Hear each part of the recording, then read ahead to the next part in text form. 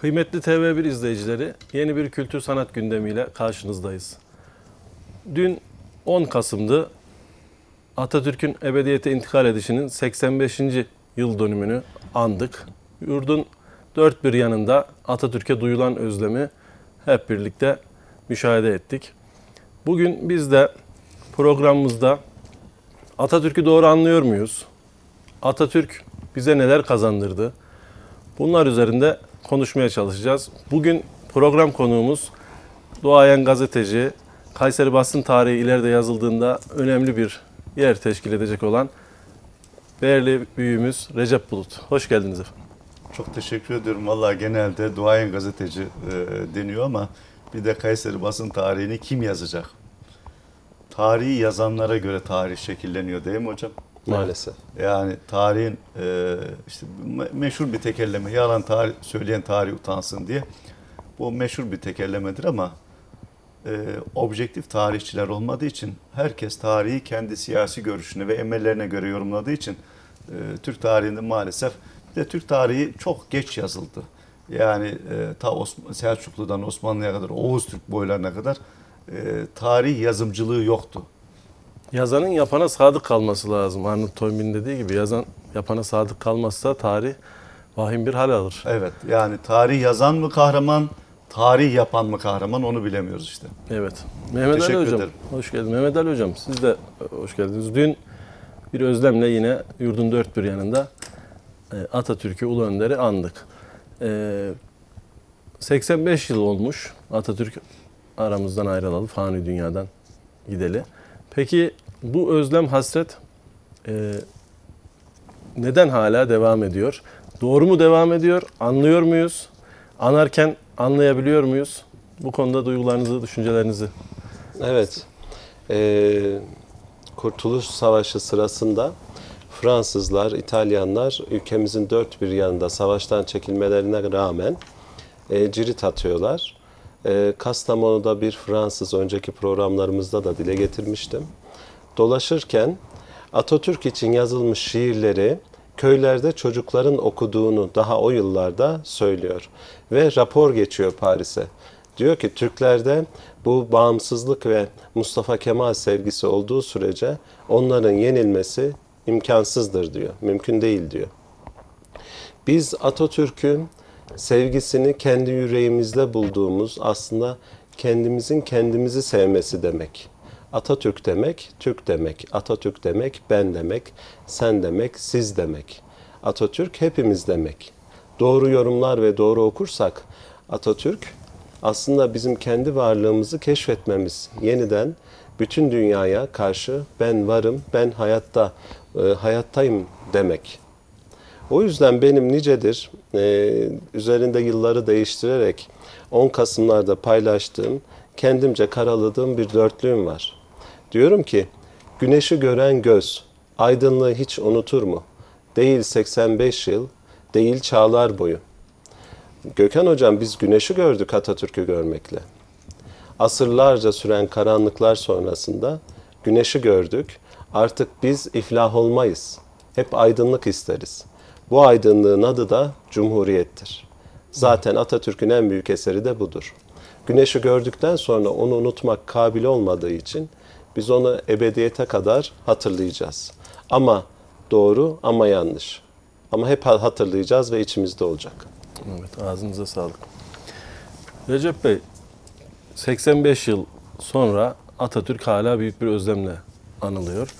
Ee, Kayseri e, özelinden şöyle bir başlayarak e, Atatürk bize neler kazandırdı? E, Atatürk olmasaydı bir defa Kayseri e, Develi'ye kadar Fransızların haritalarında görünüyordu. Durumumuz nice olurdu? Olmasaydıdan başlayalım. Bazıları olmasaydı da olurdu derler de. Ya da Yunan kazansaydın. Evet maalesef püsküllüsü, festisi, meslisi falan filan. Şimdi e, yaşadığınız coğrafya çok önemli. E, doğduğunuz yer çok önemli. Aileniz çok önemli. Bunlar temel belirleyici unsurlardır. Bizim coğrafyamız çok e, zor bir coğrafya. hem iyi bir coğrafya deprem açısından hesaba katmazsak hem de e, üzerinde durulması Nazım'ın dediği gibi bir kısrak başı gibi yani onu tutabilmek, o kısrağı zapt edebilmek çok zor. Atatürk'ün bize neler kazandırdığını doğru yorumlayabilmek için Atatürk öncesini bilmek lazım. Ta 3. Selim'e, 2. Mahmud'a e, falan Abdülaziz'e, Abdülmecid'e falan gitmek ayrı bir tartışma konusu. Abdülhamit'ten bu yana Osmanlı toprakları sürekli kayba uğramış. Size bir harita attım. Çok fazla detaya girmeyeceğim. Eğer o haritayı gençler ekrana getirebilirlerse. Evet. Ee, Kanuni döneminde, Yavuz Sultan Selim döneminde e, Osmanlı e, dünya coğrafyasının neredeyse üçte birinin üst- üstünde bir yeri kaplamıştı. E, Arap Yarımadası'nın tamamı, Mısır'dan Habeşistan'a kadar e, bu taraftan Avrupa'nın işte meşhur Kanuni, Kanuni birlikte Viyana kapılarına kadar dayanan üst tarafta yine keza e, Kafkasya'ya kadar açılan Bu haritamız mı Recep Bey?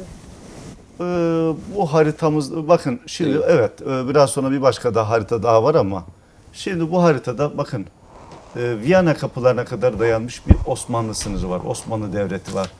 Bu haritayı iyi okumak lazım. Yani Abdülhamit döneminde ne kaybedildi falan filan diye kuru bir çekişmeye takılıp kalmanın bir anlamı yok. Harita her şeyi anlatır.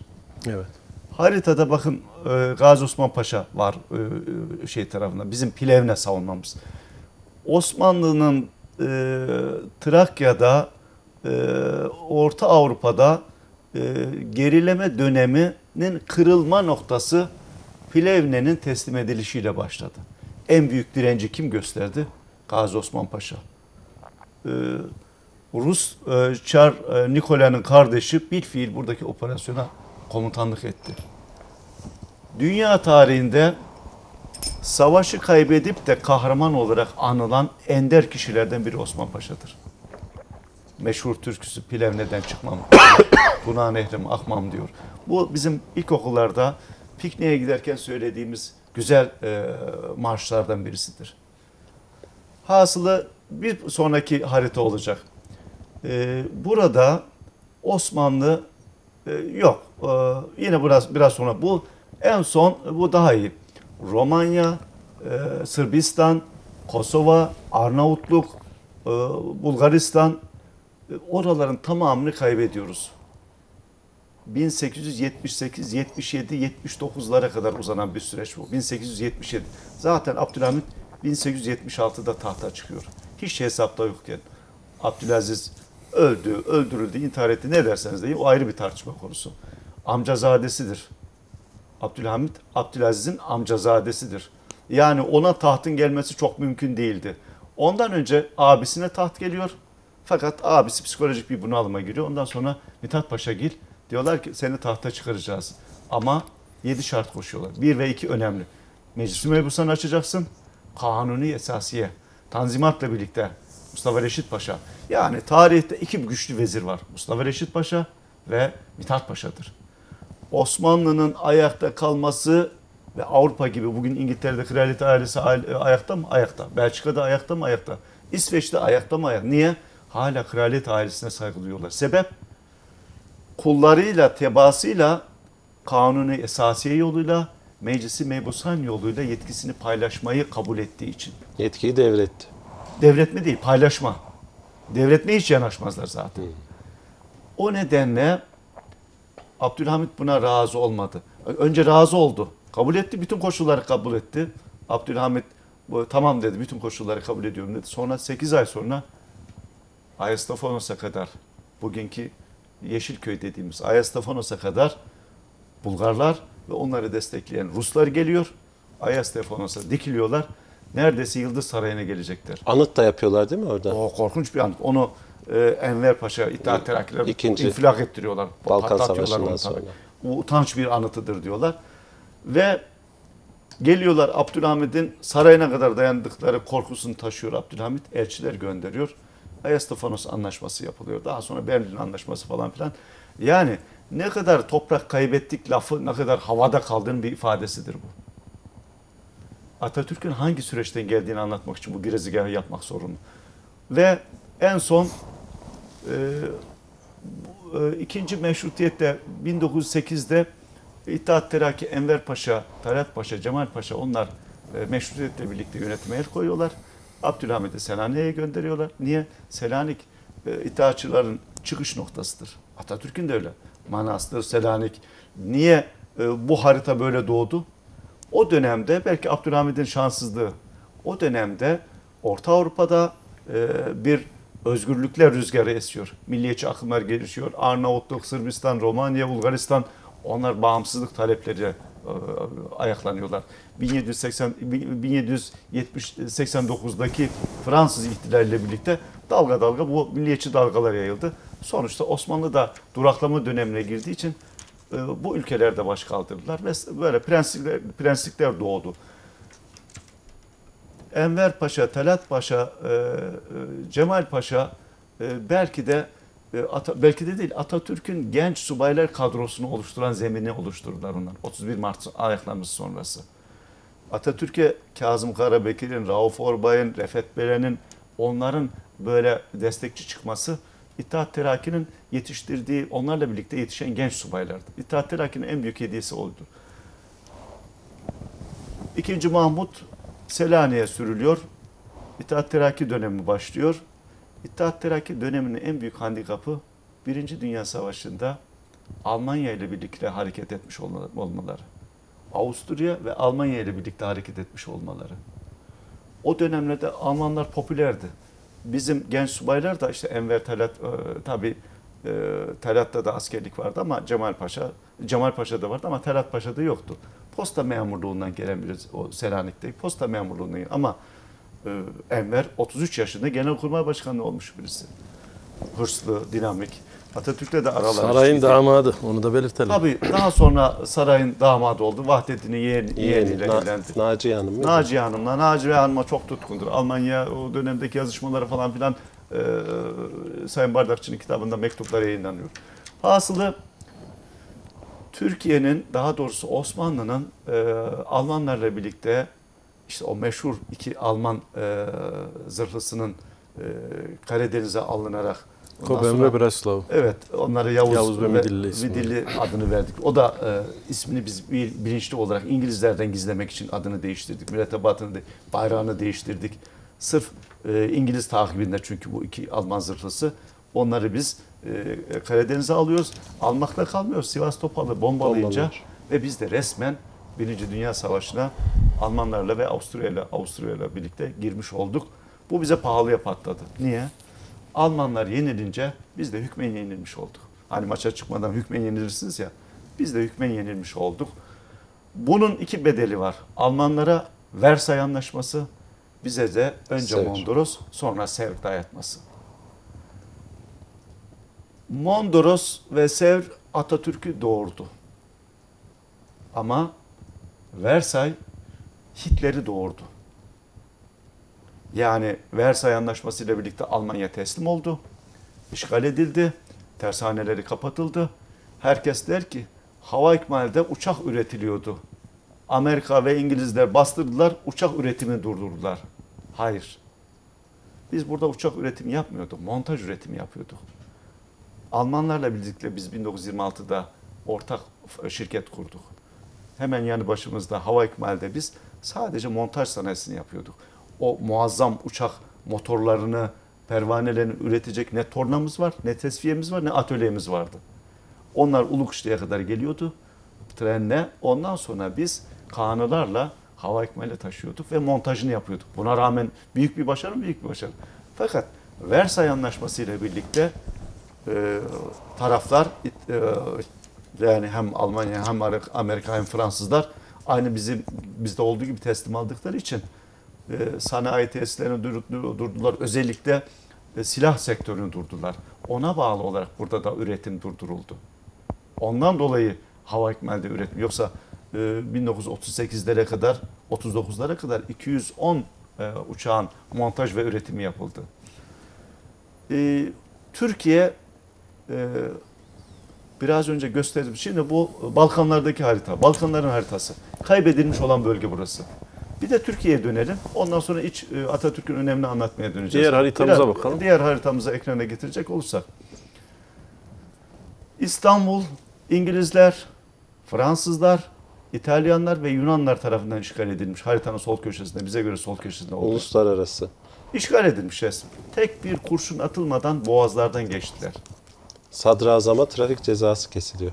Durdurdular. Hapis karakola çekildi arabası. Sevr haritası yani Bu- Sevr'de amaçlanan Mondros ve Sevr'in getirdiği harita bu. evet. Sonuç bu olacaktı. Bize Eğer milli buydu. mücadele Hayır, olmasaydı. Hayır, hayır, buydu. Sonuç buydu. Ondan sonra Kurtuluş Savaşı'na geçeceğiz. Buradaki haritaya göre sadece Türkler şurada gördüğünüz Afyonkarahisar, Kütahya, Eskişehir bu tarafta öbür mesela e, Karadeniz bölgesi gözükmüyor. Karadeniz Zonguldak bölgesi orası Rum, Rum Pontus devleti. Buradaki haritada bir yanlışlık var. Orası tamamen Rum Pontus devleti. Geri kalan da Ermenistan. Ermenistan ve bize kalan burası. Nevşehir, Kayseri ve gördüğünüz bu mıntıka. Yani efendim Lozan'da biz ne yaptık diyenlere bu, gözüne bu haritayı sokmak lazım. Gözüne bu haritayı sokmak lazım. Aşağıda Antalya tarafında Fransızlar, e, İtalyanlar, e, yine Urfa tarafında e, Fransızlar, Fransızların silahlandırdığı Ermeniler biraz önce Gökhan Hoca giriş yaptı. Develi, Everek, Bakırdağ'a kadar Kadar. gelmişler. Haçin bölgesi dedim. Sayın Beyli Göksun taraf. Evet. Göksun'un o zamanki adı Haçin. bölgesi. Yani bizim Develi'ye kadar gelmiş. e, oraya kadar dayanmıştı. Bize e, Sevr ile Mondros'la dayatılan harita. Bir öbek, bir avuç e, Türk insanın barınacağı bu yer. Ankara ve çevresi. Dolayısıyla Sevr ve e, şey e, Lozan'da biz kaybettik diyen adamlara cebinde bu haritayı gezdirmek lazım. Cep telefonunuzda çıkaracaksınız. Al kardeşim. Bak bize Lozan öncesi dayatılan bu. İşte Kurtuluş Savaşı öncesi bir Abdülhamit e, terk etmek zorunda kaldı. Gitti Selanik'e sığındı. İki Vahdettin İngiliz zır- zırhlısına bindirilerek önce Malta adasına sonra Mekke'ye geldi. Mekke'de Şerif Hüseyin tutun, nazarında tutunamadı. Çünkü Şerif Hüseyin e, İngilizlerle işbirliği yaptığı için Fahrettin Paşa'yı 93 gün Mekke Medine savunmasını yapan Fahrettin Paşa'yı bile sırtından vurdular. Ondan sonra Mekke Medine'de bir süre kaldı barınamadı. Halife benim dedi. Barınamadı. Gitti sonra İtalya'nın San Marino. kasabasına, şehrine gitti oralara yerleşti. Bu ikinci göç. Mithat Paşa e, bir kere e, Abdülhamit onu yok etmişti. Sonra e, Abdülhamit kendi gitti mecburen Selanik'e sığındı. Peşinden Vahdettin bu sürgün hayat yaşadı. Sonra Enver, Talat, Cemal Paşalar onlar da Alman zırhlısına bindiler. Kırım'a gittiler. Cemal Paşa, Talat Paşa Berlin'e, Cemal Paşa daha sonra Gürcistan'a gitti. Orada öldürüldü çünkü. E, Talat Paşa da Berlin'de bir Taşnak militanı tarafından biliyorsunuz ensesine, ensesine vurularak öldürüldü. Enver de önce gitti Kırım'da, Bakü'de e, Sosyalist Es- Enternasyonel toplantısına katılıyor. Milliyetçi muhafazakar kimliğine rağmen. Fakat orada kon- konuşturulmuyor. E, şeysi bildirisi okunuyor ancak. Orada men ediliyor falan. Daha sonra Türk İslam senteziyle kendini Tacikistan'a kadar vurdu. Atatürk ondan sonra e, sahneye çıktı. Yani bu enkazdan sonra biraz açıyı geniş tutmaktaki kastım oydu. Bu enkazdan sonra Atatürk ortaya çıkıyor.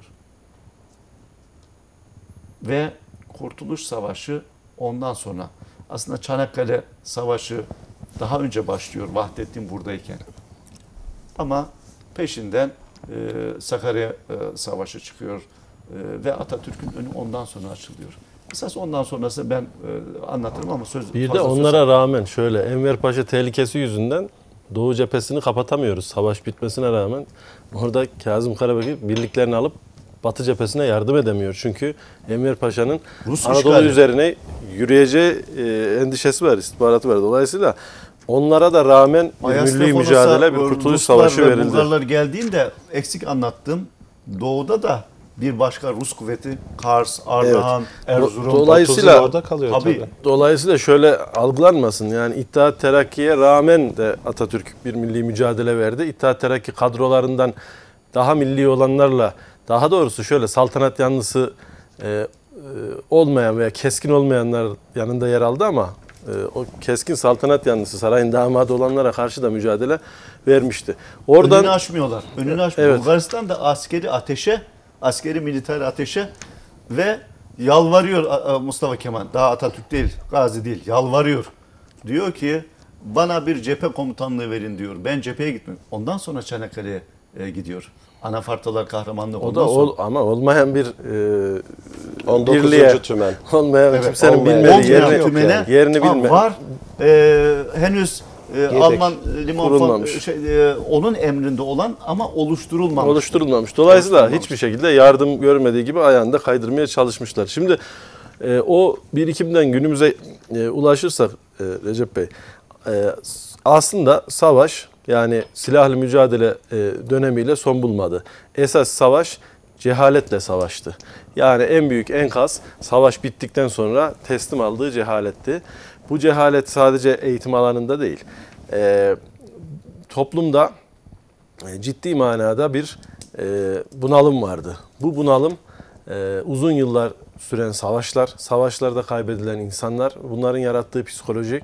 Dolayısıyla geleceğe dair bir umut yoktu. Bu umudun olmadığı dönemde e, dahi e, öngörebildiği e, bir takım fikirlerle ortaya çıktı. Yani Atatürk bize neler kazandırdı e, dediğimiz zaman mesela e, aslında biz günümüz toplumu neden en başta sordum ya neden e, özlemle anıyoruz. Miras yedi bir toplumuz çünkü. Atatürk'ün bize kazandırdığı cumhuriyetin değerlerini har vurup harman savurduk milletçe. Geçmişten günümüze baktığımız zaman millileştirilmiş birçok kurum, kuruluş bu e, Özal döneminden başlayarak özelleştirildi.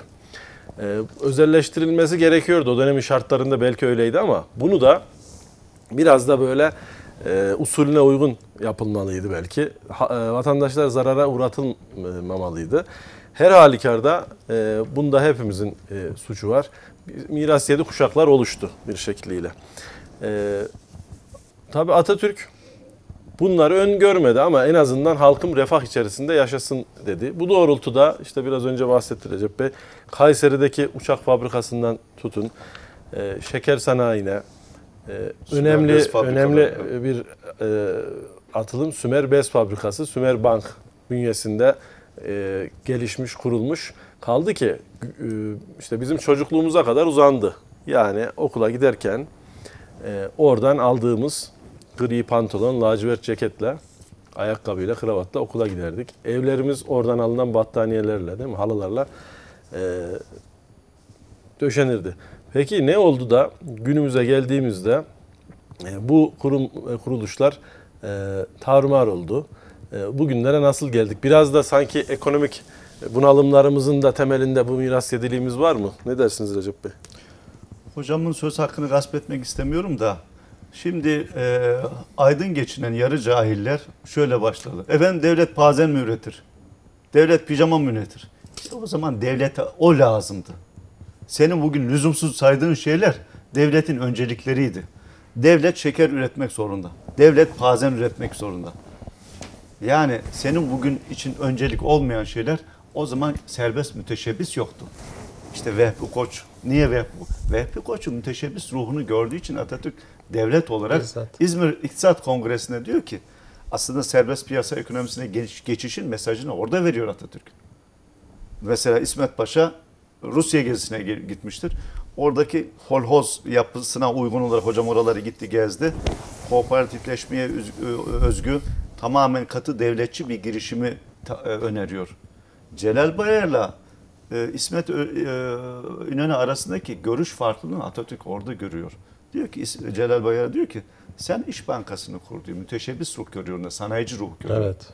Ama tabii Celal Bayar böylelikle birlikte bu, bu yönüyle birlikte daha sonra bu gerici akımların önünü de açan bir konuma düşmesi e, İsmet Paşa mı olmalıydı o mu olmalıydı tartışmalara ayrı bir boyut kazanıyor.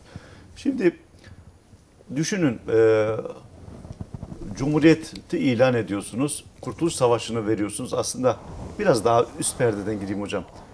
Atatürk Arıburun'da, Çanakkale'de, Conk Bayırı'nda olağanüstü bir başarı gösteriyor.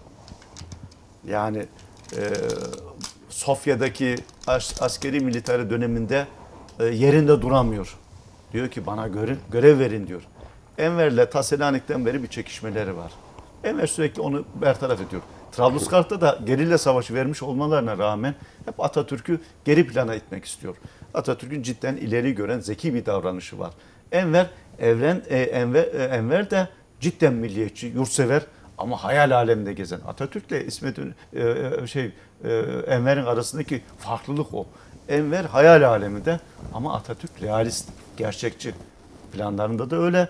Aynı şekilde Çanakkale Savaşı'nda da, Conkbayırı'nda da, e, Arıburnu'nda da bütün bunları ortaya koyuyor. Ondan sonra zaten 30 Ağustos Zafer Bayramı'nın kazanılması, Sakarya Savaşı'nın bütün savaşların kazanılması Atatürk'ün Çanakkale Savaşı'ndaki deneyiminden yola çıkarak ve Atatürk e, Kurtuluş Savaşı verildikten sonra aslında Atatürk'ün birinci mecliste e, Sakarya Meydan Savaşı öncesi, Büyük Taarruz öncesi meclisten 3 aylık yetkiyi alana kadar göbeği çatlıyor halk tabiriyle. Üçüncü, ikinci defa uzatılması için talepte bulunduğunda meclis ayaklanıyor. Yok diyor. Vermeyiz diyor. E, Atatürk geliyor. Hasta haliyle o gün gelemiyor. Bir sonraki meclis toplantısına geliyor. Diyor ki ilk toplantıda siz bana bu görev verdiniz. Sebebi e, Mustafa Kemal'in o savaşın altından kalkamayacağı, çuvallayacağı. Dolayısıyla Mustafa Kemal'in üstünü çizeceğiz hesabı yapılıyor. O nedenle ilk e, toplantıda 3 aylık e, yetki öyle veriyorlar. Genelkurmay Başkanı ve tam yetkili falan filan.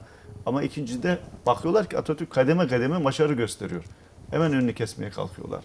Hatta milletvekilini düşürmeye çalışıyorlar. Milletvekili Nüfus adaylığı kaydı. tekrar yapmamaya çalışıyorlar. O işte 5 yıl boyunca aynı yerde ikamet etmesi olması lazım.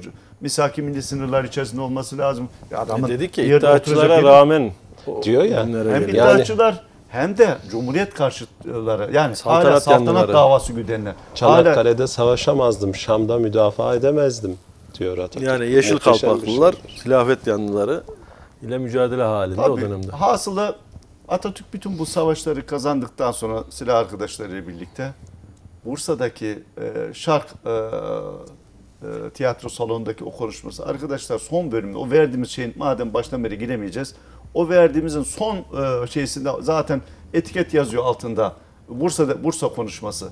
Oradaki e, Bursa e, Şark e, e, tiyatro salonunda öğretmenlere hitaben bir konuşması var. Hepimizin sizin benden daha iyi bildiğiniz bir konuşmadır o. Yani biz yedi düvele karşı savaş kazanmış olabiliriz diyor. Ama Biz cephede savaşı kazanmış olabiliriz. Ama esas bundan sonraki savaşı muallimler verecek diyor. Cehaletle savaşımız. Esas şimdi, Şimdi başlıyor. başlıyor. Esas savaşımız. Evet, Düşünelim, rejiden rica edelim.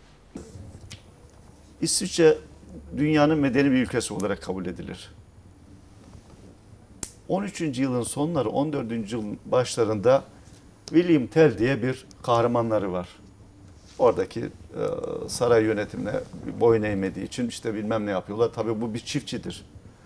Bu çiftçinin e, Uri diye bir şehirde yaşıyor. Bu çiftçinin e, gösterdiği saygısızlıktan dolayı cezalandırılması hesaplanıyor. İyi ok attığı hesaba katıldığı için ortaokul kitaplarında vardır. Onun kafasına bir elma koyuyorlar. Hadi bakalım ya elmayı ya oğlunu vuracaksın diyorlar. O da iyi ok atıcı olduğu için çekiyor oku. Oğlun başındaki elma, elmayı vuruyor.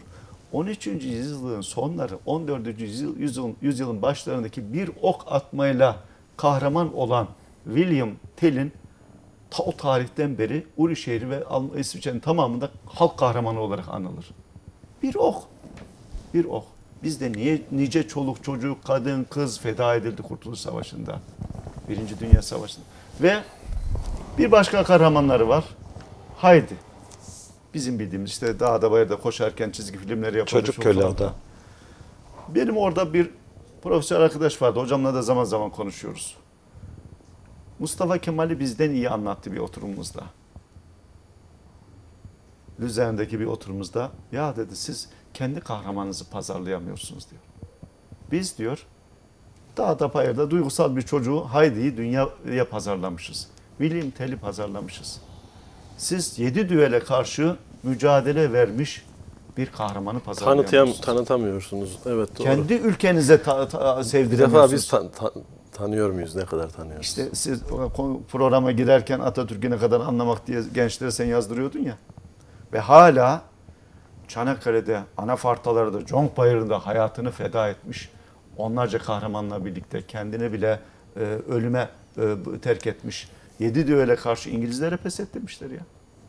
İngilizler, İngilizler hayatının yenilgisini almışlar Çanakkale Boğazı'nda. İngilizlerle ilgili arada bir Yedi anekdot. düvele. Mehmet Akif'in söylediği gibi kimi Hindu, kimi bilmem Evet. ne. Kimi bilmem ne bela. Ya. Sizi bütünleyecek bir şey anlatayım. Londra'da Trafalgar Meydanı var. Meşhur. Arkasında İngilizlerin müzesi işte British Museum denen. O meydanda bir anıt var. Uzunca bir kaidenin üzerinde yükselen Amiral Horatio Nelson'ın anıtı. Trafalgar Savaşı'ndan dolayı zaten o meydana Trafalgar anıtı deniliyor. Horatio Nelson İngilizleri yenilmekten hatta imparatorluğun sona ermesinden kurtarmış adam. O nedenle çok e, önemsenmiş halen Londra'nın en önemli meydanlarından birisinde böyle kaide üzerinde heykeli var Horatio Nelson'ın. İşte filmleri yapılır. Özünde özel hayatına baktığımız zaman kimdir biliyor musunuz? Saraydan saraydan yani e, kraliyet ailesinden evli bir kadınla ilişkisi olan hatta ondan da gayrimeşru çocuğu olan birisi. Şimdi normalde heykelini dikmeyi bırakın bu adamın adını kazırlar değil mi? E, geçmişte görmedik mi işte Prenses Diana bir Arap e, milyarderle hikayesinden dolayı. Evet. dolayı e, işte gizli servis öldürüldü diye iddia ediliyor mesela gizli servis tarafından. Çocuğu olursa çok büyük vahim bir şey olurdu diye. Şimdi e, ama milli kahraman olduğu için heykelini indiremiyorlar. Oradan geçelim Amerika'ya. Washington DC'de başkentlerinde Abraham e, Lincoln'un Lincoln. bir işte anıt kabrin küçük versiyonu diyelim bir e, şey var, e, kabri var. Onun önünde yemin ederler Amerikan başkanları bu şeye çıkacakları zaman işte Beyaz Saray'a da göreve başlayacakları zaman. E, meşhur Rocky filminde işte o merdivenlerde şey yapar, spor yapar falan ya oradan bilir izleyicilerimiz. E, hemen orada havuzun kenarında bir şey vardır, kitabe vardır. Kitabede der ki burada iki babamızdan birisi burada yatar diye Abraham Lincoln'u bahseder. Diğer baba kim? Diğeri de George Washington. Yani e, koloniler savaşını e, bitirmiş.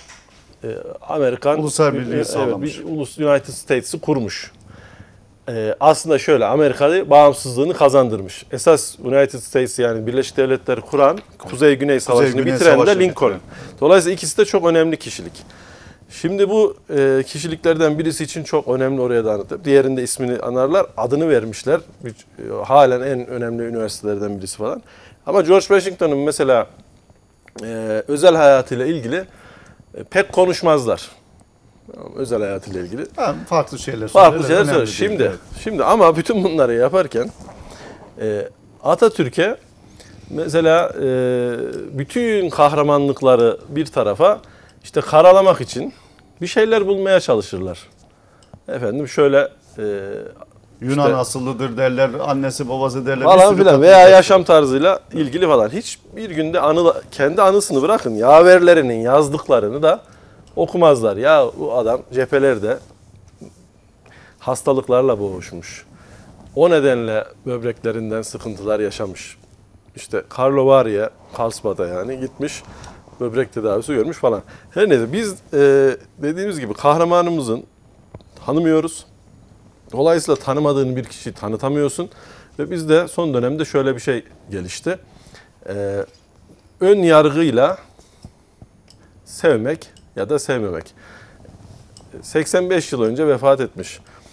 Senin onu sevmen ona bir şey kazandırmaz. Ama senin kendini kazandırır. kendini anlaman için değil mi kendini yani içinde bulunduğun topluma neler kazandırdığını ve bugün özgürce dinini yaşıyorsan, dilini konuşabiliyorsan değil mi? Bu topraklarda özgürce değil mi?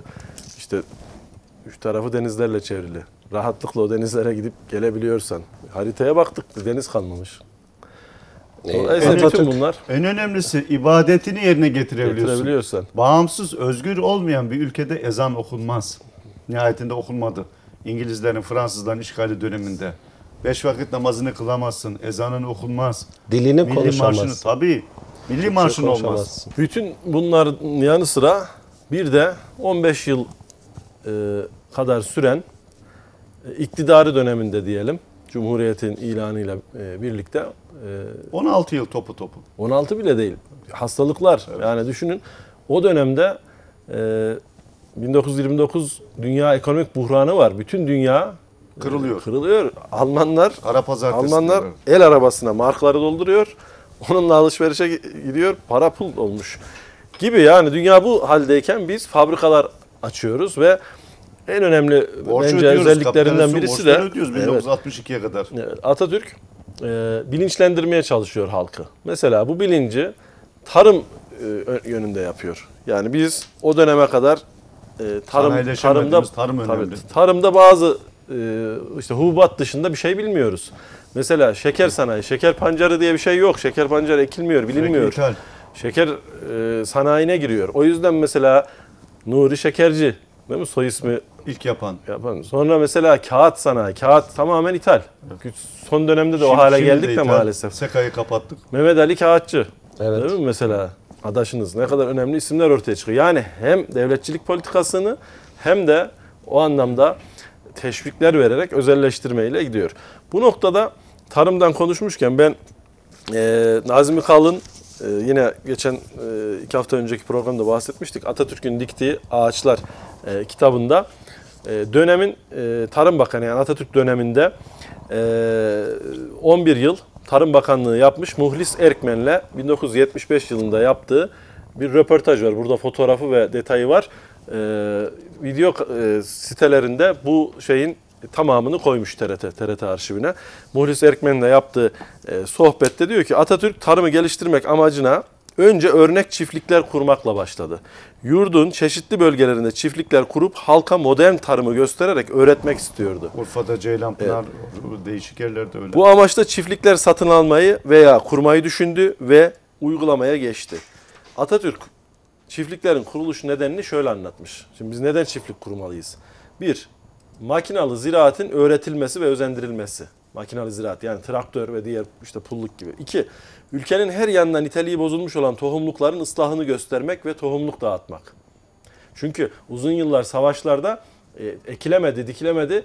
Tohum noktasında ciddi sıkıntımız var. Hasat ve harman işlemlerinin makineyle yapılmasının üretim ve kazancı olan etkisini göstermek. Hayvancılığın gelir getirici bir iş olduğunu anlatmak. Sütçülük ve konservecilik gibi tarımsal sanayi öğretmek, geniş alanda sebze ve meyvecilik yapmak, fidanlıklar kurarak, fidan yetiştirerek çıplak alanlara dikmek. Yani ağaçlandırmak ne kadar önemli. Ziraat makinisti ve tamircisi yetiştirmek. Tarımın kazanç getirdiğini halka göstermek. Bu amaçları gerçekleştirmek üzere de yurdun dört bir yanında. Yani biz bugün sadece Atatürk Orman Çiftliği'ni değil mi biliyoruz, daha hatırlıyoruz. Başka neler vardı oysa ki? Atatürk Orman Çiftliği Ankara'daydı. Silifke'de Tekir Çiftliği vardı. Şövalye Çiftliği vardı. Yalova'da Baltacı Çiftliği vardı. Millet Çiftliği vardı. Dört yolda portakal bahçeleri vardı. Karabasamak Çiftliği vardı. Tarsus'ta Piloğlu Çiftliği. Bütün bunları aslında bu e, birer okula dönüştü. Günümüze kadar uzananları oldu. İşte Tarım Lisesi veya Endüstri Meslek Lisesi gibi uzananlar oldu. Buralarda sadece çiftliklerde üretim e, yapılmadı. Ya, Bunun yanı sıra e, tarım okulları açıldı. Tarım kredi kooperatifleri kuruldu. Yani kooperatifçilikle, e, modern tarım eğitimiyle hatta buralarda fabrikalarda üretimler yapılıyor. Bu üretimler e, sonucunda üretilen tarım makineleri yurdun dört bir yanına gönderiliyor. 1925'te ilk defa Ankara'da başlamıştı Atatürk Orman Çiftliği ile. 1930 yılına gelindiğinde 5 yıl içerisinde bu orman çiftliği öyle büyük bir fabrikaya, bir okula dönüşmüş ki bunu Amerikalılar merak etmişler ve dönemin e, Fox televizyonu geliyor bir çekim yapıyor Amerikan Büyükelçisiyle birlikte. Büyükelçisiyle birlikte. Atatürk'le. Bunu daha sonra renklendirdiler günümüz teknolojisinde. Atatürk'ün en net, güzel ve sesinin de anlaşılır olduğu, Fransızca konuştu. Fransızca konuştuğu bir e, videosu var. Rejideki arkadaşlardan rica edelim. E, bu noktada e, o e, videoyu şöyle bir hatırlayalım. Bu videodaki görüntüler e, tabii e, Atatürk Orman Çiftliği'nin tanıtımını da içerdiği gibi bir yerinde Atatürk diyor ki bu su neden boş akıyor? Vatanın suyu boş akamaz. Sesi gelmiyor ama d- o dudak okuması var. Beden dili, duruş, diplomatik ilişki. tabii. Amerikan Büyükelçisi Atatürk'ün beden dilini olduğu gibi taklit ediyor. Evet. Yanında Afet İnan, gelişmiş bir medeniyet ama evvelinde de özellikle Türk ziraat mühendisini oraya yerleştiriyor. Çünkü Atatürk e, Ankara'yı yeşillendirmek istediğinde Bozkır'ın ortası. Bozkır'ın ortasında tek bir ağaç yok. Hatta kesiyorlar. Atatürk selam veriyormuş gidip gelirken karargahına. Bir ağaç yetiştirdiniz mi ki bu ağacı kestiniz diye bayağı bir Evet, sitem ediyor Ankara. Belediye başkanına. Ee, yabancı mühendisler Ankara'dan bir şey olmaz. Ankara'nın toprağı elverişsizdir diyor. Kayalık zemin diyor. Kayalık zemin. Ee, Türk mühendisler yetiştiriyor ve Atatürk Türk mühendisini konuşturuyor hocam bu videoda. Evet. Onun verdiği ayrı bir mesaj da vardır. Tabii çağırıyor da konuşturuyor. Anlat bakalım diyor. Anlat bakalım diyor ve asla onun da önüne geçmeden Evet, yapıyor. tabii. Excellence, est-ce que vous êtes content de ce que vous voyez ici, dans cette année-ci Président, je remarque un grand progrès depuis que j'ai vu la ferme il y a trois années. Il n'y a que cinq années que nous avons commencé à travailler ici. Avant, il était un terrain tout à fait marécageux. C'est surtout Tassimbe qui travaille ici, qui surveille, qui surveille n'est-ce pas? Voulez-vous que je lui présente? Je vous en prie, Excellence. Tassimbe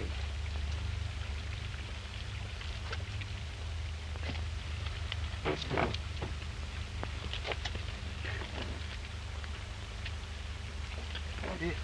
Anlatır mısınız nasıl başladığınızı ilk sene burada? Paşam ilk sene başladığımız zaman bütün bu görülen ağaçlı yerler bir tek ağaç bile yoktu. Çöl halindeydi. Karşıki derelerin içerisinde bir çadırla işe başladık. Amerika traktörlerinden Fordson aldık ve bu suretle mebde olarak işe başlamış olduk. Birkaç sahada ziraatı mütevessi bir sahada yapmak için makinalı ziraata ehemmiyet verdik. Hayvanata fazla miktarda ehemmiyet verdik. Ve 5 sene zarfında 1 milyona yakın ağaç diktik. Meyve bahçeleri yaptık. Bağ yaptık. Ve 7 bine kadar koyun yetiştirdik.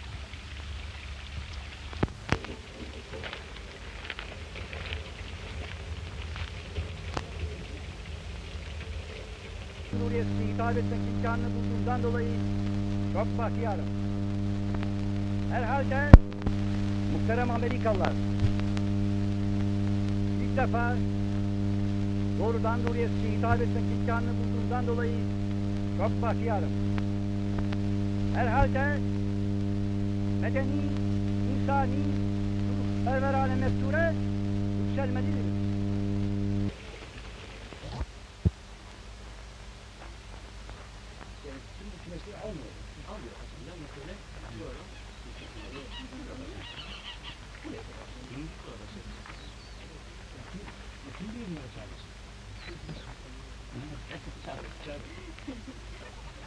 Paşam 4 yaşında.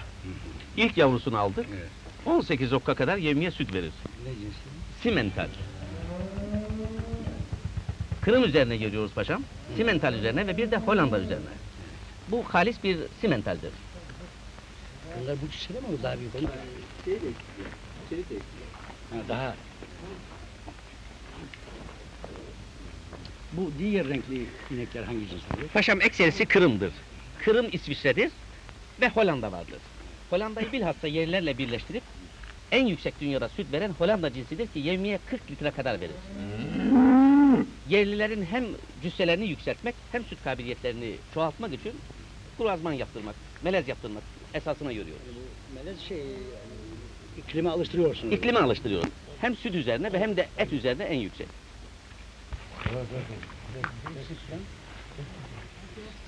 Birinci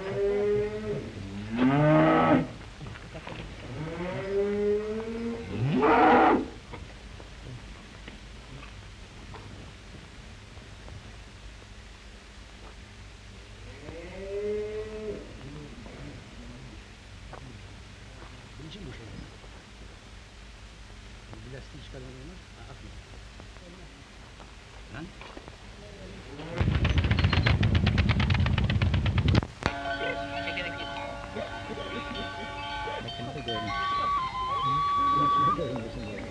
Yürü, yürü, yürü.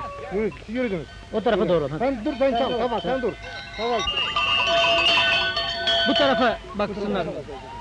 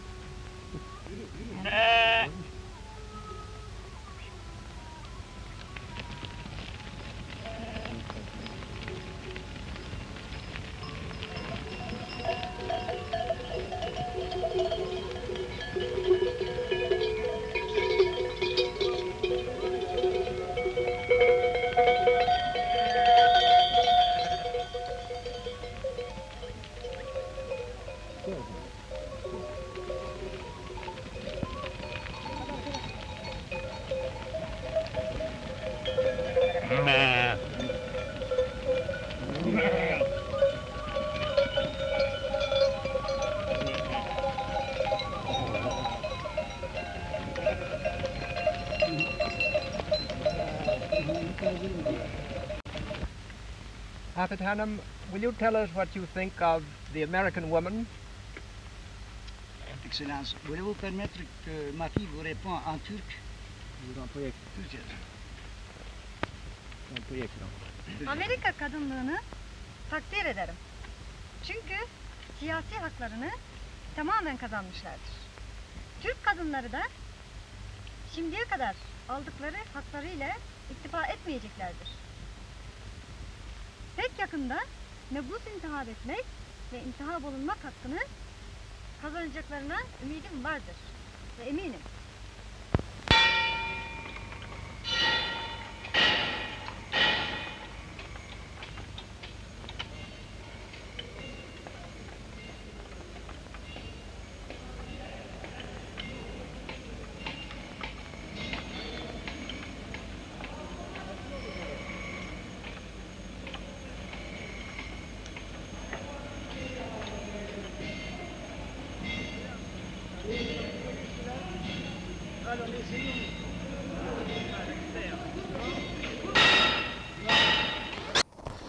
Sevgili seyirciler, izlediğimiz video aslında çok derin mesajlar da veriyor. Ama e, cümlemizin başında söylediğimiz gibi Atatürk'ün bizden ve bizim için ömrünü adamış biri olduğunu yeniden kanıtlanıyor. E, Ali Rıza Efendi Selanik'in yerlisi. Ancak e, Zübeyde Hanım e, 20 kilometre kuzeyden bir beldenin hanım kızı. Ee, Ali Rıza Efendi vefat ettikten sonra Atatürk e, dayısı Hüseyin Bey'in yanına gidiyor ve onun çiftliğinde bayağı bir bulunmuş.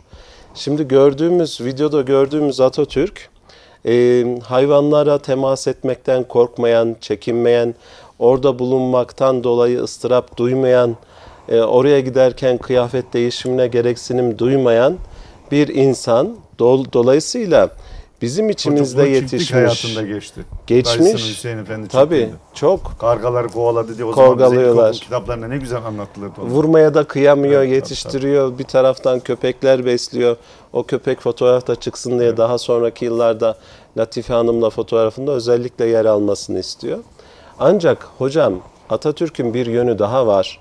Bir eğitimci bakış açısıyla dile getirirsek Atatürk çok genç yaşta babasını kaybetmiş bir yetim.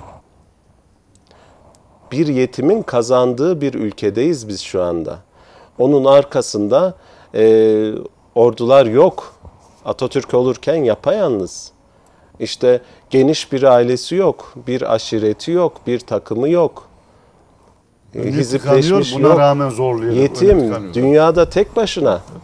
Ve biz şu anda e, bir yetimin kurduğu ülkede yetim olmakla birlikte bütün Türk ulusunun babası olabilmeyi başarmış bir insanı konuşuyoruz. Bazı e, e, bu gerçeği görmeyen sözde aydınlar üst düzey burjuvazi, aristokrat bilmem ne falan öz be öz Anadolu çocukları. Tamamen. bunlar.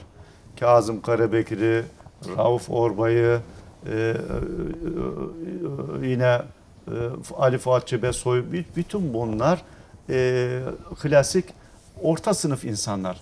Atatürk aslında e, Ali Fuat Cebesoy'un mesela İstanbul'da evinde kalıyor. Onun babası ordu mensubu. Evet paşa. Zaman zaman, zaman zaman evlerine gidiyor. Yani Banyo yapmaya yapaya- gidiyor oraya. Tabii yapayalnız bir çocuk. Yani Hakaretlerde. Annesi e, hakaretlerde, Şişli'de e, daha önce e, ilk yıllarda Beşiktaş'taki evde kalıyorlar. Yani çaresiz cebinde beş kuruş olmayan. Bu, bu yani. Şimdi bu entel dantel geçinenler efendim bunlar üst düzey bürokrat bir şey burjuva sınıfı bilmem e, aristokrat yapılar. Alakası. Hayır. Öz ve öz Anadolu insanı bunlar. Onun için Anadolu insanın dilinden anlıyorlar. Şimdi biraz önce izledik. Fransızca konuşmasını nerede öğrendiler? Manastır'da, Selanik'te o dönemde Avrupa'ya yakın olmasının, Fransa'ya yakın olmasının getirdiği avantajlar bunlar. Jean-Jacques Rousseau'yu okumuş. Çok. Yani o dönemin Fransız devrimcilerinin kaynaklarını okumuş, Fransızca öğrenmiş, altını Fransızca çizerek Not e, almış. not almış. Yani muazzam bir eğitim görmüşler orada. Hem e, orada İttihat Terakki oluşma döneminde e, akşam toplantıları yapıyorlar. Bu memleket meselelerini tartışıyorlar. Yani Enver de orada yetişti, Cemal de orada yetişti. Talat da, Talat da biraz önce anlattım. Sıradan bir posta memuruydu. Yani bu insanlar Osmanlı hanedanın birer mensubu değiller. Enver daha sonra hocamın dediği gibi hanedan e, ailenin bir damadı olmuş ama hanedan ailenin dana- damat olmanın sefasını da sürmüş değil Enver'de.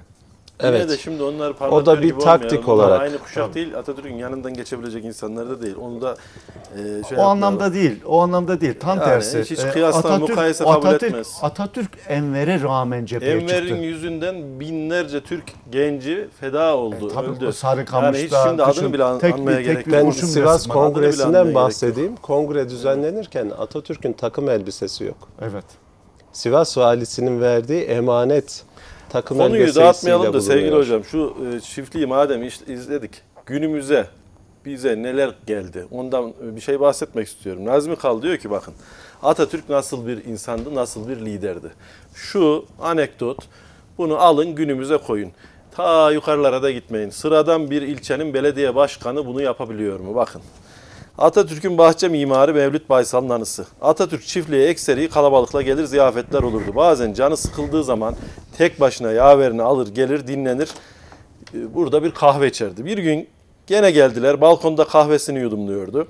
Biz de işimize gücümüze devam ediyorduk. O sırada Atatürk'ün orada mevcudiyetinden haberi olmayan kuşaklı, peçeli, yaşmaklı maşmaklı bir kadın, iki tane çocuk yanında ağır ağır geliyorlardı. Çünkü bir mani yoktu. Vatandaşlar gelsin gelsin istiyordu. O gün Atatürk orada olduğu için polis on- onları ikaz etmek üzere ilerledi. Onlara bir şeyler söyledi, onlar da geri döndüler. Atatürk durumu gördü.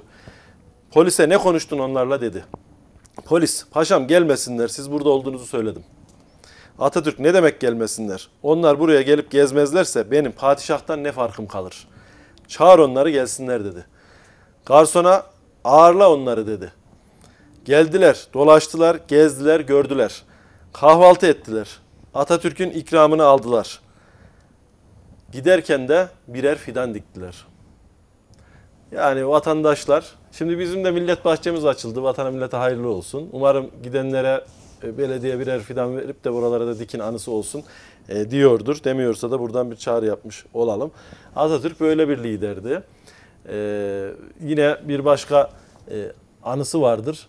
E, Cumhuriyet'in e, 10. yılı törenlerinde yarına yaklaşan e, bir e, kadın e, Atatürk'ün anne tarafından yakınları olduğunu, oğlunun işe alınması için bakanlıkta müracaat ettiklerini, e, sizin yakınınız olduğum halde e, işe almadılar diye şikayette bulunur. Orada ne der değerli hocam? İyi yapmışlar diyor. Demek beni söylediğiniz halde işe almadılar. Demek ki Cumhuriyet şimdi temelleri üzerine oturmuştur. Bina etmiştir. Recep Bey, o günlerden bugünlere geldiğimizde bugün işte geçen hafta e, Abdullah Gül Üniversitesi'nin değerli rektörünü ağırladık. Bir miras üzerinde oturuyoruz dedi. Sümer e, bez fabrikasını kampüs haline getirdiler. O mirası korumak üzerine de bir müze yapmaya çalışıyoruz dedi. Tabii günümüze Sümer bez fabrikası çeşitli nedenlerle u- ulaşmadı. Belki de ekonomik ömrünü veya işte dönemin artık zamanın ruhu gereği tamamlamıştı. Ancak o dönemden günümüze kalan Kayseri e, özelinde e, neler kaldı geriye?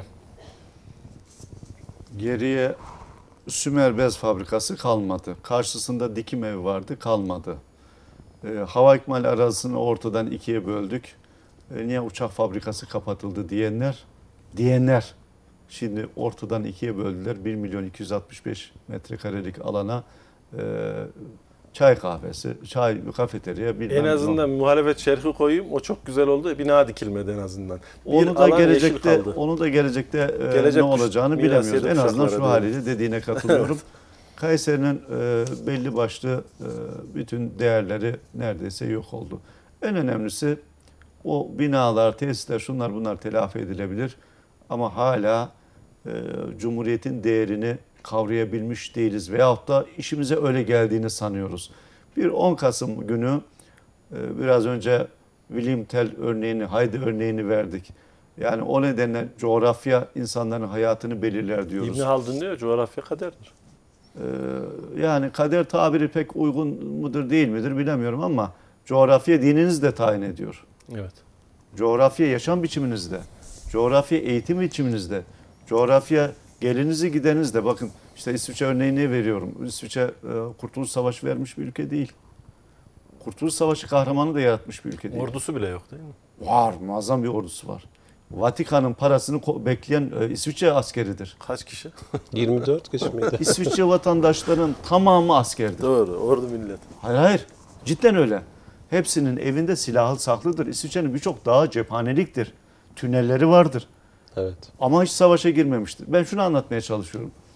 Bir kurtuluş savaşı yaratma gereği duymamışlardır. Onlar için esas kurtuluş e, şeydedir, paradadır. Para mücadelesini verirler. Niye? Ülkelerin haritalarını belirlemişler. E, Fransa'ya, Almanya'ya, Belçika'ya, Lüksemburg'a, Avusturya'ya, İtalya'ya demişler ki kim ki savaşır da e, kaçmak isterse İsviçre'ye gelsin. Latin Amerikalı ülkelerine kadar, Türkiye'deki kaçakçılara kadar kaçırmak istediğiniz parayı bize getirebilirsiniz diyorlar. Ama bizim coğrafya o kadar zor bir coğrafya ki sadece ekonomik savaş vermek zorunda değilsiniz. Karadan, denizden, havadan da. İşte o nedenle Çanakkale Savaşı, o nedenle Sakarya Savaşı, o nedenle anafartaların falan bütün savunmasını yapmak durumundayız. Bizim savaşımız birçok yönden. Karadan, denizden, havadan e, ve daha da önemlisi Atatürk'ün işte konuşmasında olduğu gibi cehaletle. Oysa Avrupa bunları orta çağda bitirmiş. Biz hala Atatürk'e saygı duyalım mı, duymayalım mı? Atatürk'ün bize kazandırdığı, kazandırdığı nedir, ne değildir? Lozan bize ne getirir, ne götürdü? Hala bunları anlatabilmiş ve kabullendirebilmiş değiliz. Hala Atatürk düşmanlığı. Ya be kardeşim bak işte fotoğrafını gösterdik ekranda. Şu kadarcık bir dal, dar alana hapsedilmişsin sen Türk milleti olarak. Evet. Ve tekrar bugünkü Edirne'den Kars'a kadar bir toprağa sahipsin. İster beğen ister beğenme. Bu bile yoktu. Ve daha da önemlisi Osmanlı kendi kendini bitirmiş. Bitmiş bir saltanatın küllerinden gencecik bir cumhuriyet doğmuş. Saraydan alınan vekaleti sana vermiş artık. Teba değilsin, kul değilsin. Tamam Allah kulluk e, hakkın vardır. Eskiden padişahlar ey kullarım diye hitap ederdi. Tanrı'dan başka kul olur mu? Olunur mu Tanrı'dan başka? Yok. Buna rağmen padişah ben Tanrı'nın gölgesiyim diye tövbe haşa Tanrı'ya şık koşmuş. Ey kullarım diye hitap ediyor. Sana artık böyle hitap eden bir makam yok. Yetki sende. Bir hanedan aileden çıkmış artık yetki senin. Bugün bir parti iktidar yaparsın yarın indirirsin beğenmezsin oyuna vereceğin oyla iktidarları tayin etme hakkın olmuş artık. Bireysin. Ahmet oğlu Mehmet'sin, Ayşe oğlu Fatma'sın, bilmem kızı bilmem nesin. Yani artık sen bir bireysin. Fikrini zikrini beğenmeyebilirsin. İstediği parti iktidarı getirir, istediği parti iktidardan götürür. Söz ve yetki artık sende. Sen yurttaşsın. Milletsin artık. Bu büyük bir e, kazançtır. Ama hala sen bu kazancın farkında değilsen, hala bu kazancı sana lütfeden Atatürk ve silah arkadaşı, sadece Atatürk değil, Önder Atatürk ve silah arkadaşları demek lazım. Esas din adamları solcu sağ Atatürk'ü solcu sağcı diye kamplaştırmak kadar Atatürk'e kötülük yapılabilecek bir şey olamaz. Atatürk ne solcuların e, sadece onların olacak kadar küçük ne de sağcıların. Atatürk hepimizin.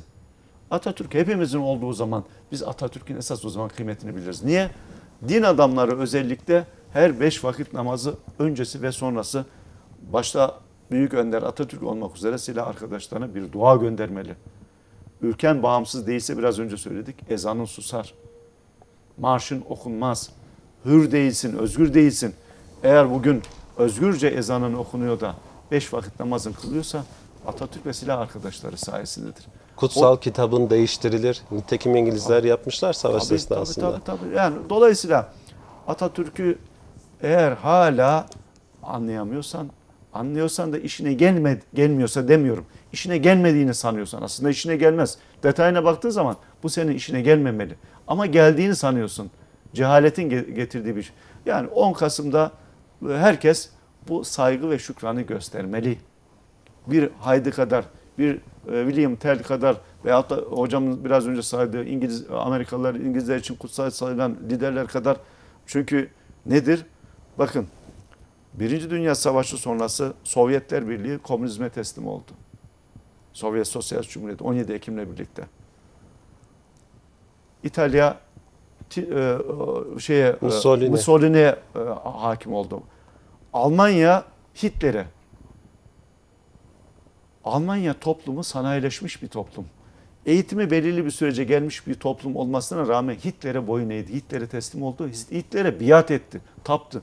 Oysa sanayileşmesi olmayan, eğitimi erkeklerde yüzde yedi, kadınlarda binde dört düzeyinde olan bir ülkeye Atatürk gibi demokrasi ve cumhuriyeti ön plana çıkan, çıkaran bir lidere sahip olmuş. Sovyetler Birliği rejimi darmadağın olmuş. Hitler dünyanın en büyük katliamcısı olarak tarihin delili. Mussolini yine keza. Bu örnekler çoğaltılabilir. Ama Atatürk hala yaşıyor. Niye? Akla ve mantığa hitap ettiği için. Akla mantığa Bitti. uygun ilkeler koymuş. Akla Mesela ve mantığa inkılapçılık. benim e, sözlerim akla, mantığa ve bilime uymuyorsa tercihiniz bilimdir demiş. Bu Evet. kadar basit. Dolayısıyla henüz henüz eğitimi, öğretimi, sanayileşme süreci olmayan bir ülkeye Atatürk gibi bir demokrasi kahramanı e, yeşermiş. Biraz önce Hitler'in verdim. Avrupa'nın o sanayileşmiş toplumundan Hitler gibi bir Nazi doğmuş. Mussolini, İtalya'da da sanayileşme vardı. Bu büyük bir e, nimettir. Eğer bunun değerini bilmiyorsak o zaman daha çok çekeceğimiz vardır. Programımızın sonuna yaklaşırken Recep Bey Atatürk'ü anlıyor muyuz doğru e, anıyor muyuz? Mesela inkılapçılık ilkesinden. Ben de şöyle bir hem kendi e, yaşantımdan sizinle ilgili bir e, anı. E, ortaokul lise yıllarımız e, o zaman e, birkaç televizyon var. E, bir anda e, tabii normal antenler komşular arasında bir e, şey duyuldu. Ya Kayseri televizyonu varmış. Belediye televizyon kurmuş. Şimdi inkılapçılık ilkesi diyoruz ama bu inkılapçılık ilkesini e, burada yeri gelmişken söz etmeden geçemeyeceğim. Kayseri özelinde uygulamış. Türkiye'de yoktu yerel televizyon. Bu, bu hikayede kayda geçmesi için. Çünkü şunun için önemli. Bakın birkaç yıl önce Hacettepe Üniversitesi'nde bir sempozyuma gittim. Sempozyumda Dursun Yıldırım hocamız e, Sovyetler Birliği coğrafyasındaki ziyaretlerinden bahsediyordu. Şimdi e, ya 5-10 yıl önce yapmış olduğu bir ziyareti burada sempozyumda neden aktarıyor diye çok ilginç gelmişti bana. Çünkü tarih e, konuşuluyordu orada. Sonra yanımda öğrencisi vardı genç Osman Hoca kulaklarını çınlatıyoruz ara ara. Dedi ki bunu sana söylemiyor dedi. Bunu gelecek kuşaklara söylüyor kayda geçsin diye. Yani 100 yıl sonra tarihi araştıranlar baktığında ha bu böyleymiş desin diye. Ben de bugün işte kayda geçmesi açısından Atatürk'ün inkılapçılık ilkesinde Kayseri'de e, yapılmış olan bir tarihi gerçeklik olarak Kayseri Büyükşehir Belediyesi televizyonu hikayesini e, kısaca dinlemek isteriz. Özellikle hikaye uzun da şey kısmından alabiliriz. Dönemin İstanbul Büyükşehir Belediyesi Başkanı Kayseri'ye geliyor. Nurettin Sözen. Oradan Söz sizde. Şimdi hocama çok teşekkür ediyorum. Tabii bu Kayseri medya tarihi falan filan konuşulacak olursa orada geniş geniş anlatılabilir. İşte ben o zaman İsviçre'den geldiğimde e, orada Lugano tarafında İtalyan kantonu oralar. Lokal yayınlar yapılıyordu. Rhein televizyonu falan filan onların yan şeyleri. Burada ben belediye daire müdürü olarak görev başladıktan sonra bir e, teknik işlerden anlayan bir arkadaşımız da belediye almıştı. Dedik ya böyle böyle. O zaman, o zaman Magic Box Star televizyonu işte e, rahmetli Turgut Özal'ın oğlu Ahmet Özal, uzanlar onlar bir Magic Box adı altında Star televizyonu Telefon, kurmuşlar. Star. Evet. Evet. O Star'ı falan filan biz Mimar Sinan kasabasına verebilir miyiz? Veririz işte uydudan indirdik. O zaman tabii TRT vardı sadece. E, Onu verdik. Sonra e, Show TV falan filan onlara verici koyduk. En son dedik ya böyle böyle. Aslında benim hesabım e, dekodurlu bir yayın yapabilir miyiz? İşte daha sonra Sine 5 falan filan onlar Tabii, uyguladı tabii. ya. Yani Kayseri o zaman Kaski yoktu. Kaski olarak diyelim ki o su abonelerine cüzi bir bedel ekleyerek dekodurlu özel yayın yapabilir miyiz dedik. O zaman belediye dedi ya biz su parasını zor alıyoruz bir de oraya bir şey ekleyecek olsak olur mu falan filan. Neyse. Öyle bir e, özel e, televizyon programı Kayseri Büyükşehir KBTV diye bilinirdi. Hem de profesyonel broadcast sistemle yani TRT'nin kullandığı sistemle. BBC'nin kullandığı Tabii tabii şeyler, aynı sistemle biz e, onları aldık, getirdik, kurduk. Tabii e, yerel ilk defa o zaman Cumhuriyet Meydanı'nı e, çok iyi ikiniz de hatırlayacaksınız değerli hocalarım. TRT'nin yayını koptuğu zaman illerin belli başlı meydanları gösterilirdi. Biz 40 yılda bir TRT'de yayın kesilince ekrana Kayseri Meydanı, o Kayseri gösteriyor, Kayseri gösteriyor diye heyecanlanırdık. Hatırlıyor musunuz? Evet, evet, evet, evet. Kayseri'nin caddeleri falan filan doğru. işte. Ee, yani insanların sadece meydanı, istasyon caddesini, Sivas caddesini falan görmeleri bile onları mest ediyordu. Sonra işte röportajlar şunlar. Nurettin Sözen Sivaslı olduğu için Sivas'tan buraya gelmişti bir cumartesi günü. Niyazi Bahçıcıoğlu'nu ziyarete rahmetli. E, O zaman Niyazi Bey'in önüne biz böyle kocaman KBTV diye logolu şey koyduk. Mikrofonu koyduk. Nurettin Bey baktı. Ya dedi Kıbrıs televizyonu burada ne arıyor dedi. KBTV değil mi? Kıbrıs televizyonu falan anladı. Niyazi Bey de rahmetli görünüyor. Olur mu ya dedi bu benim televizyonum. E nasıl oluyor dedi. Valla işte Kur'an genç delikanlı burada dedi. Ona sorun dedi. Nurettin Sözen özel kalem müdürü, basın yayın müdürü falan yanına getirmiş. Dedi ki siz Sivas'a gelmeyin. Burada kalın.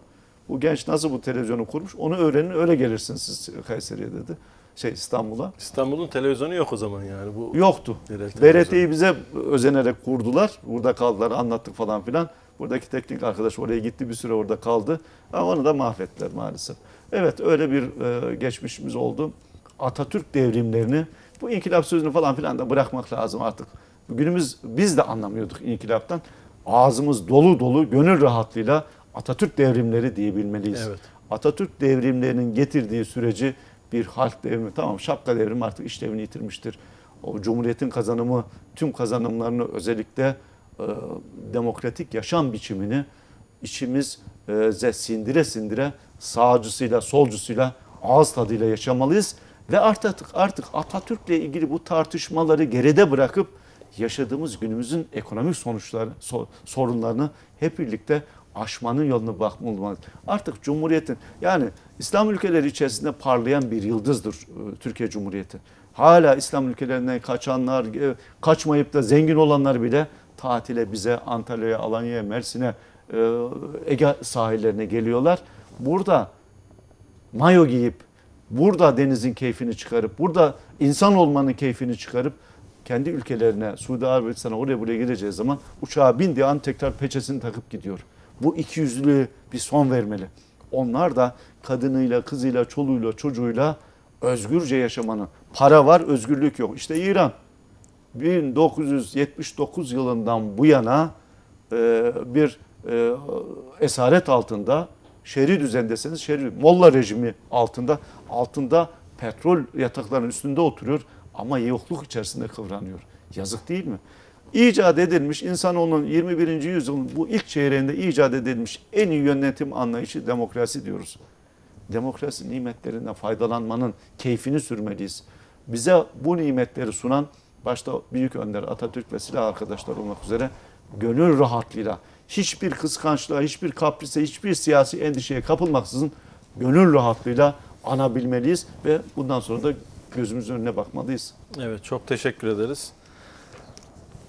Kıymetli TV1 izleyicileri, bugünkü programımız bir saatimiz bize yetmedi. Recep Bey'le e, inşallah başka programlarda yine görüşmeyi e, e, diliyoruz.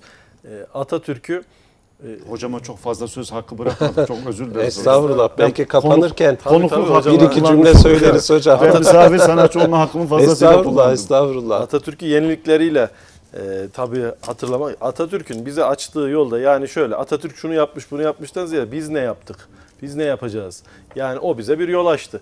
Yani dükkanı ne kurdu, ekledik? dükkanı kurdu, anahtarı bize teslim etti. Devamında biz ne yapabildik? E, demek Bundan lazım. sonrasını düşünmek. Bundan sonrası için E, Atatürk gibi düşünmek diye Norveç dilinde bir atasözü var hocam. Zannederim karşılaştığımız her türlü olumsuz durumda e, böyle düşünürsek bizim için en büyük kazanç olacak Atatürk gibi düşünmek.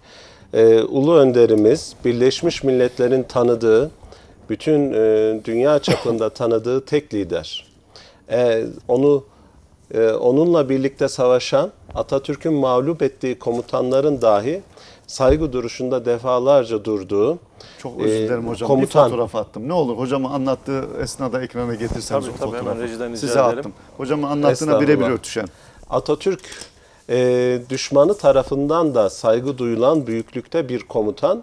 Şu an Atatürk'ün bulunduğu İngiliz Sir William e, Evet. e, Bird'ün şeysi. sonsuz e, istirahatinde Fotoğrafı. Cenazesine. Anıtkabir, e, Frigya'da, Frigyalı bir yerleşim birimi e, birçok mesaj da içermekte.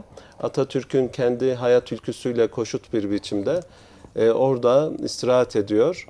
Tabi bayrağı asla inmiyor. Yaz günlerinde dahi inmeyen bizim son kurganımız Anıtkabrimiz. Ve oraya en çok yakışan da tabii ki Atatürk'tür. 900 metre yük- 907 metre yüksekliğinde Anıttepe. Atatürk'te tam 905. metresinde bütün Türkiye'den, Kıbrıs'tan ve As- Ankara'nın en güzel tepesi. Oradan e, 9'u 5 geçeye atıfla e, 905 metre yükseklikte hepimizin e, koruyor ve Orada dünyada başka hiçbir ülke yoktur ki e, kendi kurucusunun mezarını ziyaret ettirerek diğer devlet yöneticilerini kabul etsin. Bilge Kağan'ın mezarıyla büyük benzerlikler taşıyor. Orada da mesaj veriyor. Türklük bilinci, Türklük şuuru, Türk devlet kültürü. İhanetin nelere sebebiyet, Sebebiyet olduğunu orada çivi yazısıyla. Hepsi orada kuşanmış. Girişteki abideler detaylı bir vakit de belki Anıtkabir'i anlamlıdır ayrıca oradaki alacağız ama hocam orada Atatürk aslında e, ilk hedefiniz Akdeniz caddelerinin adı da o şekildedir. E, onun içinde bir barış parkıdır Anıttepe. O barış parkına yurtta sulh, cihanda sulh dedirtmiş bir komutanın, bir devlet kurucusunun barış ormanı içerisinde yer aldığını görüyoruz ve yüzlerce ülkeden o ormanda bulunması için ağaçlar gönderilmiş hocam. Şu an Anıtkabir'e çıkan biri aslında o ağaçların hışırtısıyla Atatürk'e selam duruyor. Toprak da gönderildi yurdun dört bir tarafından. Evet, öyle bir saygı ki sırf bizim değil, bütün dünyanın saygı duyduğu ebedi e, komutanımız, başkumandanımız, baş öğretmenimiz Atatürk'ü anmaya bir program yetmez. E, bizim Atatürk gibi düşünen, Atatürkçe konuşan gençler yetiştirme gibi büyük bir misyonumuz var. Atatürk daima içimizde neler yaptıktan, yaptığını Atatürk'ün konuşmaktan sonra artık günümüzde iş şuna döndü. Bunu yapmak mecburiyetindeyiz. Atatürk'e vefa borcumuzu ödemek için Atatürk gibi düşünen bireyler yetiştirmek. Fikri hür, irfanı hür, vicdanı hür bireyler yetiştirirsek Atatürk'ün hatırasını e, yerine getirmiş oluruz ve vefa borcumuzu ödemiş oluruz. Sadece ondan ibaret değil. Biz daha da doğru yolda olduğumuzu anlarız. Tabii. Sadece Atatürk'e vefa değil, sadece Atatürk'e saygı değil, Atatürk'ün vazgeçilmez olduğunu bakın Lenin geçti gitti. Mussolini geldi geçti. Hitler geldi geçti. Bütün kaldı ki Atatürk'le mukayese edilmez. Ama Atatürk'ün kurduğu cumhuriyet rejimi, demokrasi kültürü her geçen gün daha fazla ihtiyaç duyarak. Bakın şimdi An- Anıtkabir'e akın akın insanlara gidiyor. 1 milyon 850 bin kişi Tabii, ziyaret etmiş. Niye? Biz o çizgiden saptığımız an yine sarsılıyoruz. Depremler geçiriyoruz. Sıkıntılar yaşıyoruz. Askeri darbeler yaşıyoruz. Oluyor bu oluyor falan. Arzu etmediğimiz rejim arayışları falan filan ön plana çıkıyor. O nedene biz Atatürk'ün kurduğu cumhuriyete sahip olacağız ve demokratik bir yöntemle demokrasinin, cumhuriyetin aksiyonları olabilir. Ama onları da hep beraber düzelteceğiz yani. El birliği için. Evet. Teşekkür ediyoruz değerli izleyicilerimiz. Bir başka kültür sanat gündeminde görüşmek dileğiyle. Hoşçakalın.